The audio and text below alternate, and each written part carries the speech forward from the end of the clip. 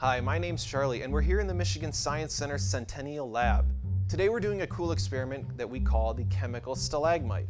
Using a supersaturated solution of sodium acetate, we'll be able to grow a tower of crystals. We've got some solid form of sodium acetate down here on this plate, and a liquid supersaturated solution in this flask. When I pour it onto the seed crystal, it'll immediately turn to a solid and will grow our stalagmite.